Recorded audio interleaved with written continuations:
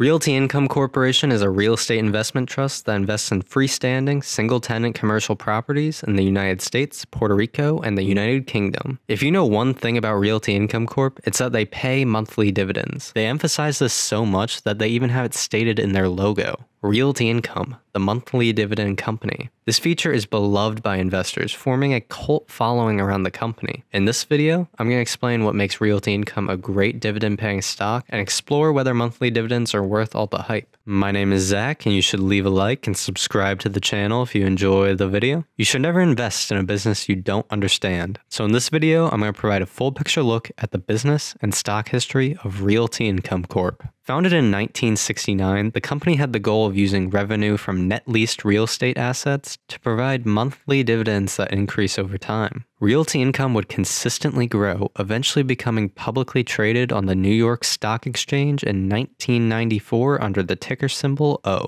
In 2013, the company was cited on Forbes.com as one of America's 100 most trustworthy companies. By 2015, they were officially added to the S&P 500 index. Today, Realty Income owns over 6,500 properties, diversified with over 600 tenants operating in 50 industries. Most of the commercial tenants operate retail stores, providing non discretionary goods and services at low price points. Examples include convenience stores, dollar stores, and drug stores, which are among the most represented industries in Realty Income's portfolio. Most of the leases are structured as triple net leases, which means besides paying rent every month, the tenant is responsible for the property's operating expenses like taxes, maintenance, and insurance. This lease structure reduces exposure to rising property operating expenses and preserves a predictable cash flow to pay the monthly dividend. The company makes a strategic effort to diversify diversify across tenants, industry, property type, and geography. Realty Income has a diverse tenant roster aimed at reducing portfolio risk. Walgreens represents 6% of their total rent, followed by 7 Eleven with 4.7%, Dollar General at 4.5%,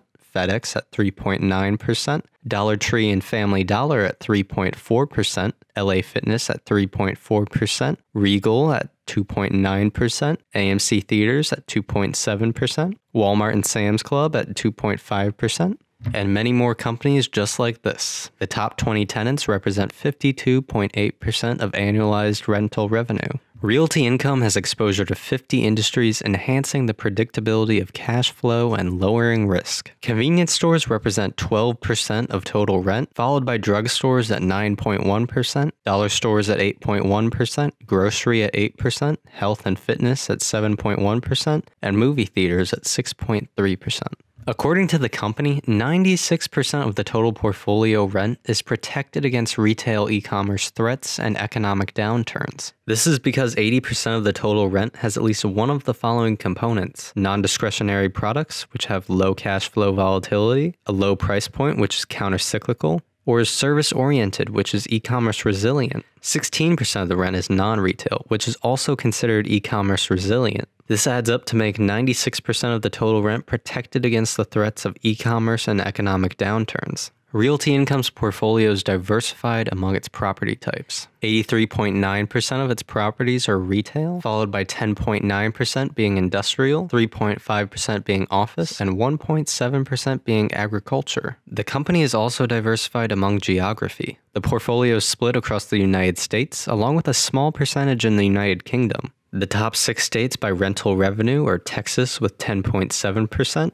California with 8.8%, Illinois with 5.7%, Florida with 5.3%, Ohio with 4.4%, and New York with 4.2%. This diversified portfolio reduces risks and enhances predictability of cash flow. On top of this, Realty Income's business model is fundamentally different from many other REITs who focus on shopping centers and malls. The company's focus on net leases and freestanding commercial properties drastically lowers cash flow volatility. As you can see in this chart, the average initial length of lease is 15 plus years compared to the average lease among shopping center REITs being less than 10 years. The remaining average term is 10 years compared to 5 to 7 years in shopping centers. The responsibility for property expenses on the tenant rather than the landlord. The gross margin for realty income is greater than 98% compared to 75% in the typical mall REIT. This is due to the net lease structure we discussed previously. The rental revenue volatility and maintenance capital expenditures are low, while in shopping centers they're modest to high. The reliance on anchor tenants is also not present in Realty's model when that's a main aspect of shopping centers and malls. Also, the average retail property size for Realty income is much smaller at 12,000 square feet compared to shopping centers and malls averaging 150,000 to 850,000 square feet. This allows O's properties to be much more fungible, increasing their adaptability as a business. All these characteristics lowered the cash flow volatility of Realty Income Corp, meaning that the earnings are more reliable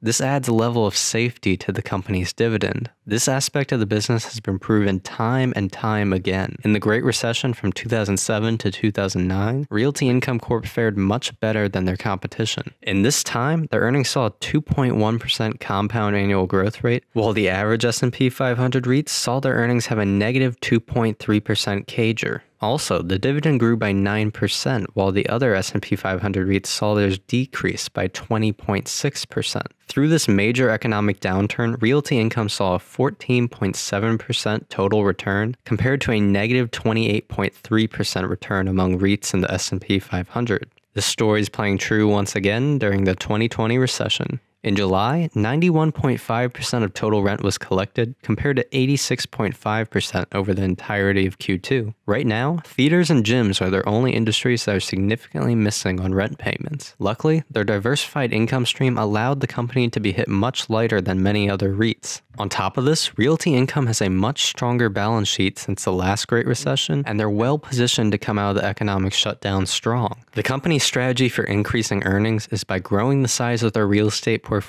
and increasing rent on existing leases. They're constantly using their cash flow to buy more properties, thus increasing their cash flow even more, allowing them to purchase even more properties. This is a constant cycle of growth for the company. In addition to this, they increase rent on leases through fixed rent increases, variable rent increases, such as rent based on the percentage of the tenant's sales, and hybrid fixed variable rent increases. All these methods allow continued growth of earnings for the company, resulting in continued growth of the dividend for investors. Realty Income Corp has seen consistent revenue and profit growth. Over the last five years, the revenue has increased from 934 million to 1.492 billion, which gives it a 9.8% compound annual growth rate. This growth is consistent with gross profit increases, as over the last five years, the profit has increased from 880 million to 1.4 billion, giving it a 9.7% compound annual growth rate. The company's dividend has seen 91 consecutive quarterly increases with a 4.5% compound average annualized growth rate since it's gone public. Over the last five years, the company's dividend has grown 4.38% and has a current 4.49% dividend yield. The payout ratio has remained at a strong level for REITs during this time. The fundamentals of Realty Income Corp are strong, and it seems like a fantastic stock to own in a long term dividend stock portfolio. Plus, the company pays out monthly dividends.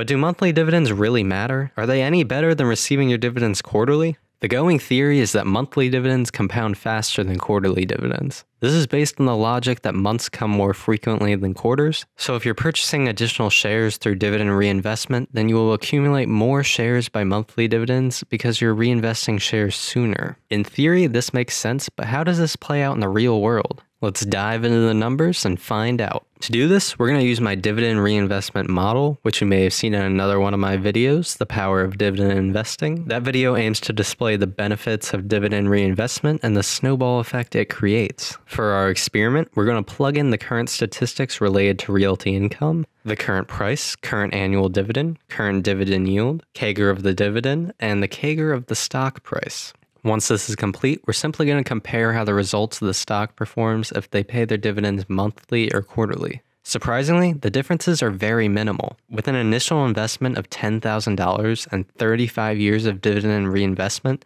the total value of the monthly version ends up being less than $400 more than the quarterly version. This is a tiny difference that could end up being chalked up to a rounding error. Just in case my model is flawed, I also researched additional examples and they all had similar findings of a small increase for monthly dividends. However, these models don't perfectly capture Realty Income's monthly dividends, and there's sure to be a large amount of variability under real conditions.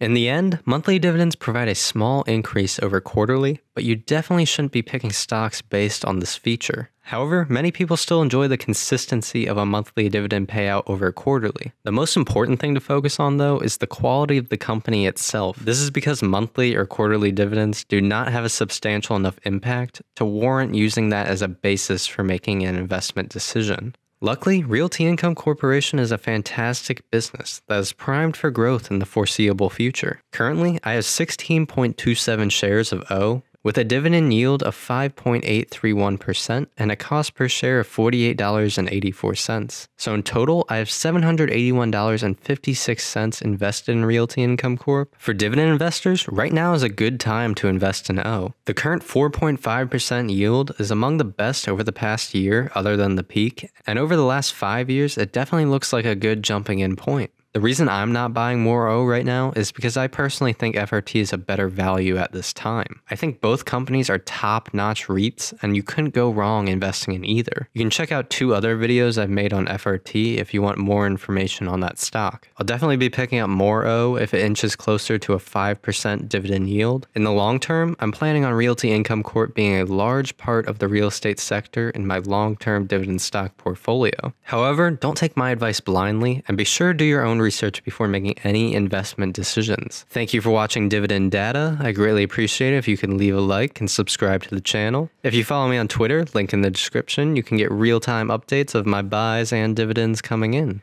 You can support the channel on Patreon and be a part of making these videos happen. The link is in the description. Please leave a comment below and thank you for watching.